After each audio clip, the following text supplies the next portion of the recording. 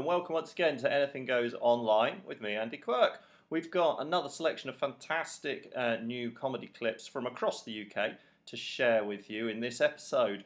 We've got musical comedy, we've got stand up, we've got sketch, we've got episodes from our regulars, we've got fresh new stuff from people you haven't seen before, and we've got production values that range from the beautifully simplistic to the broadcast quality.